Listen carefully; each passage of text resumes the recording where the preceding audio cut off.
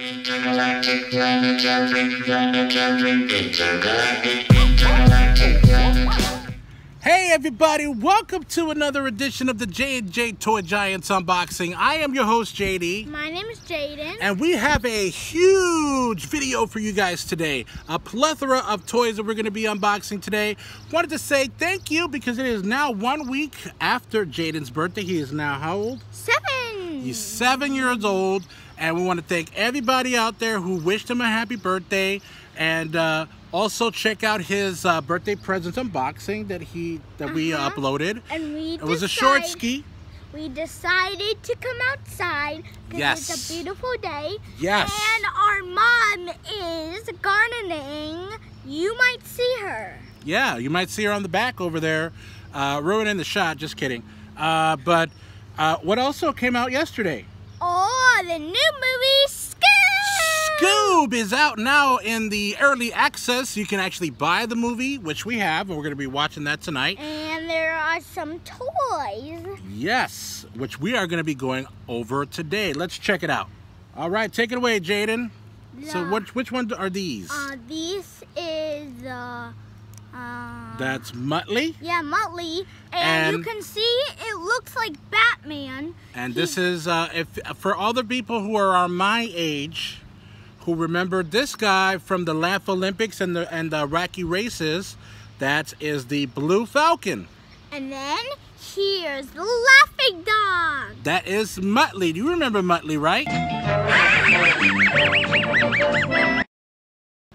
Okay. All right. So why don't you talk about this? Uh, what do you like about these Uh, toys? Because he he looks like a parrot and he does look a little bit like Batman. Yeah, a little bit. Yeah. You know, broad shoulders. You got a mask. Yeah. He's, and, uh- uh and I like how they did this.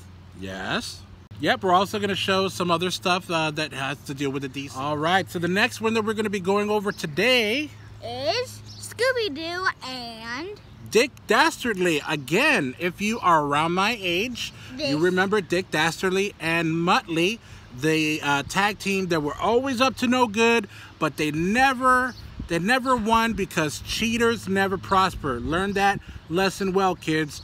You can't get through life uh, by taking shortcuts. I know this, and I've learned it the hard way.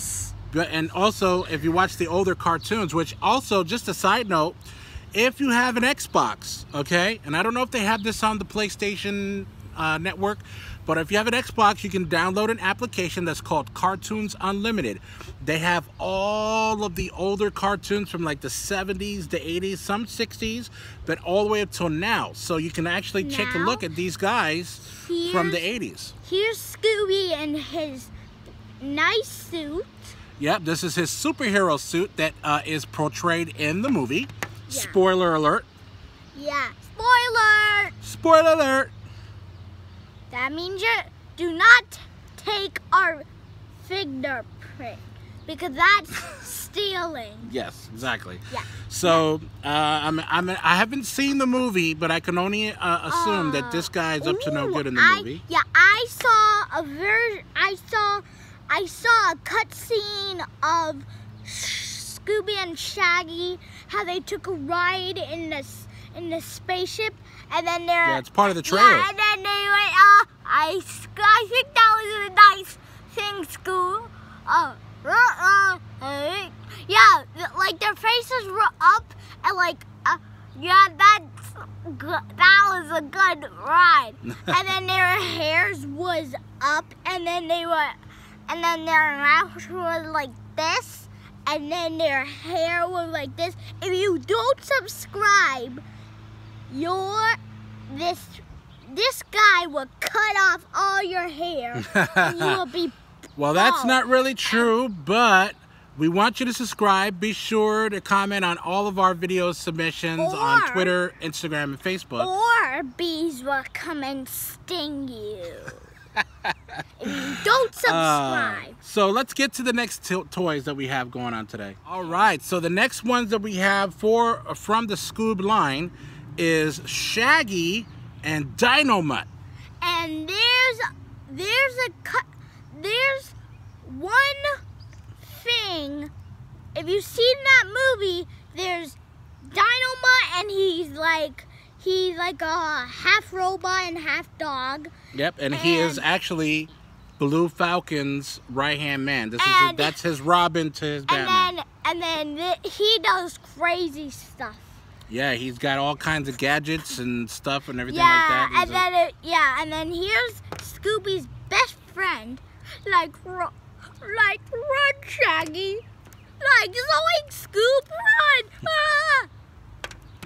All right, so that's uh, Shaggy. It's pretty self-explanatory. That you can see um, they haven't really changed a lot of Shaggy, although that he is wearing kind of like an This- undershirt under his t-shirt. It tells you something on here. Yep, and so the This- Shaggies are pretty much uh, you know the same in any every figure that you see in any incarnation this that they have. Forty-seven one. Yep. So what? Let's take a look. Look at the next one that we have. All right. So the next one that we have, and this is all part of the Scoob line because he did a, he got a lot of, uh, he did a lot of chores and he saved up this money. So he got like a plethora of uh, different uh, toys. This actually he got uh, about a week ago or so. Oh yeah. Yep. So this is Captain Caveman. Also part of the Hanna Barbera family, and uh, also from the Laugh Olympics and um, the Wacky Races and Scooby Doo. And this is the one without this kind of suit. And then here's Dynomutt.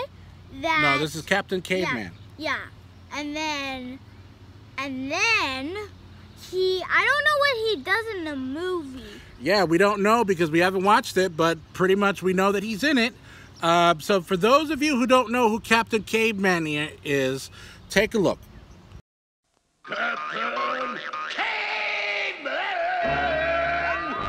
All right, so we have a haunted house for from the Scooby Doo line. This is actually from the I believe they use it for the minifigures for the Yeah. Scooby Doo, but um, we actually he got this from his birthday present that he got yeah, from his mom and because- papa. Because the other one, I lost the other thing. Yeah, he he uh, was missing the stairs and, yeah, and was then missing. the Austin. Yeah, this was all And the- then this, and then I lost that. yeah. and then and then I had no nothing else, so I thought, hey dad, can I buy this? And he and he said sure. Yep. And then one year, the postman came and he gave me the Not the one year, but it was like a week. and there's somebody. There was the the haunted house, and then it came a Scooby. So as you can see, uh, this pretty much has a lot of things you can do with it. So if you there's a little uh, door, uh, I'm sorry, there's a little button here. If you press it, if you press the uh, the little button, the door is open, right? Yeah. As you get inside of the actual play set, there's a little trap door or button here, and you see this little like ghostly goblin's hands comes out. Ooh. Um, and then of course it has what it was. Show them all the stuff we have. it has like this the the chandelier comes down and then this Whoa! So that the projectile comes out of here, and of course, uh, if you hit this uh, button, then the chandelier comes down. So it's a pretty cool thing. and then there's one more thing when you walk on the stairs there's like a clown you want to see if you can't see then we'll take it out and show you here there's a little cl- there's a clown Yep. in the basement with the light. And if you're scared of clowns, there's Pennywise. And then there's the killer clown in in the scary elevator. So if you if you're older, then you can watch Pennywise. Alright, so the, the the hits just keep on coming. We got a super super packed episode. We're gonna keep on going. What did you get just now when the we were at Ollie's? Superheroes and these. So these are the Justice League Bendems figures, and he, uh, we got it at Ollie's. we have Robin and then Wonder Woman. and there's a big Let me show you right pack. There's a big pack that comes with the Flash, Batman, uh, and then who else? Oh, there's Superman then uh, a Wonder so there's Woman. Wonder Woman, Batman, Flash, Superman, and uh, Green Lantern. Yeah. And then there's the Joker that's in a one pack. And Yep. he's the evil villain. And know who, who his girlfriend is? Harley Quinn. Yes, Har- Harley Quinn and Joker are evil. Yeah, and they Evil! how are they gonna save Princess Peach? Yeah, how are they going to save Princess Peach? All right, so this is the Jakks Pacific Super Mario Brothers Bowser Castle. And he got this at Target. This, whoa, that is super scary. This, I'm just to tell you right now, for all the people who actually own this, God bless you for having the patience to put this thing together. I, he and I tried to do this for like an hour and it was a no no no good bedfellow. So we we tapped out, and so mommy saved the day, and she was even having a hard time uh, getting this thing together too. comes So it comes with one character. yep, of course Bowser. It's his castle, Yeah, right? And Duh. then sh- and show them the inside. So if you turn it around, all right, it has the inside And with a cage. Here, watch a trap door, And that helps to get King Bowser away. Yep. And then there on the and then on the first floor there's a cage that they put King Bowser in. And then show them the bottom. On the bottom there's lava because Yeah. King Bowser likes lava. So Mario has to jump here. There's a little elevator. And then this is where they save this is where he saves Princess Peach.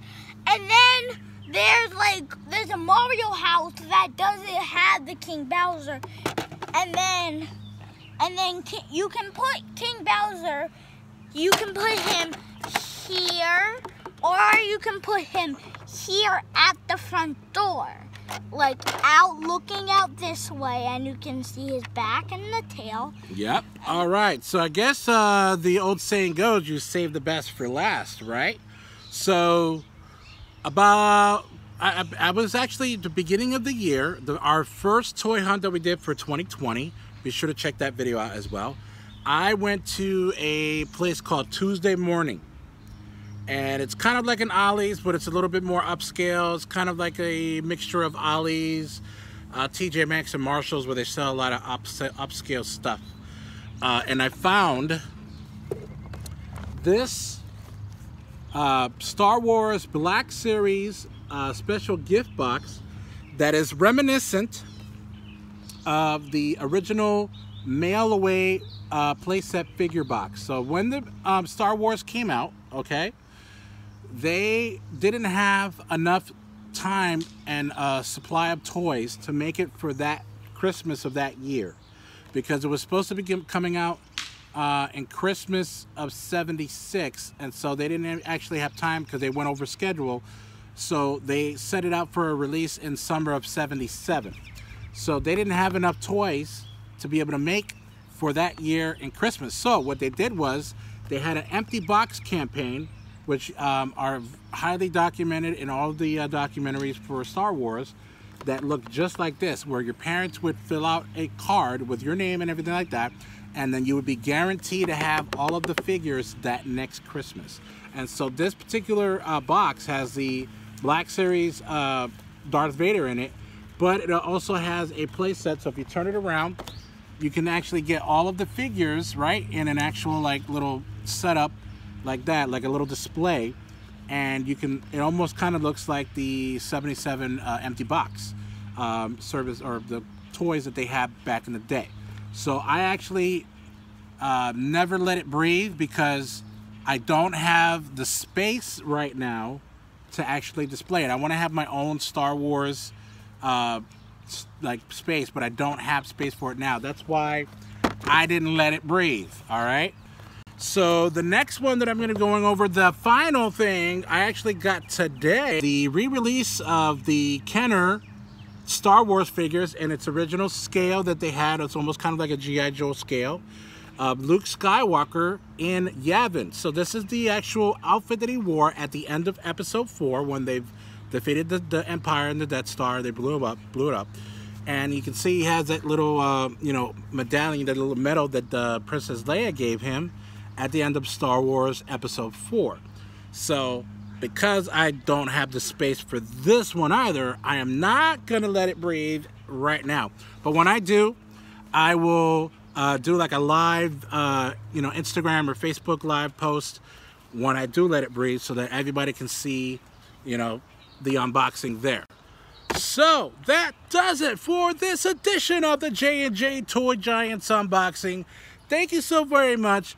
Be sure to like and subscribe. We're still doing the uh, collector of the week. If you have any type of collections like Funko Pops, comics, uh, if you collect sneakers, books, cameras, toys, anything, trading cards, you name it, send us an actual video and we will then uh, make it look nice and then put it at the tail end of one of our videos that that particular week. But thank you so very much and stay safe everybody. Keep on cruising. que ondas y arriba, las manos, cabacho moreno, penetra.